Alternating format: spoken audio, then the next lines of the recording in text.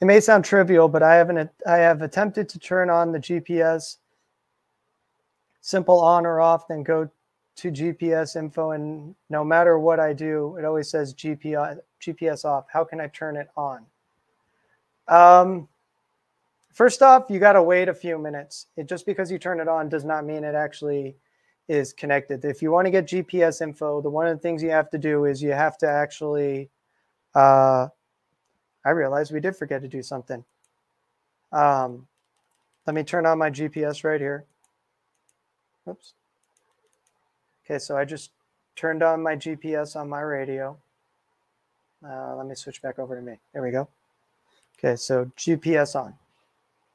Now, just because GPS is on does not mean it actually has my location. So if you notice up here at the top, that little icon right, oops, here, that's actually our GPS icon. And if you see it's gray right now, that means it does not actually have a GPS fix on me if you have you have to actually wait till that turns red before you can actually look at your GPS data or any of that. Um, it is a limitation. It could take five minutes. It could take 15. If you're inside, you might not even get a signal. Uh, so I would first start with that. There are a few other options I would suggest looking at. One of them being, give me a second. All right, let's see, optional settings.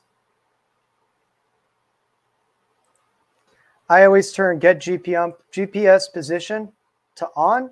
So that way when I turn on my GPS, it has that.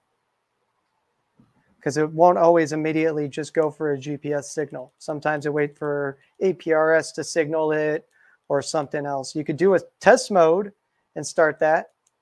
Um, that is another thing you can also do. But right now, as you can see, let me go back to my screen. GPS info, no GPS position. So it will not actually get that until there's actually a GPS position from it.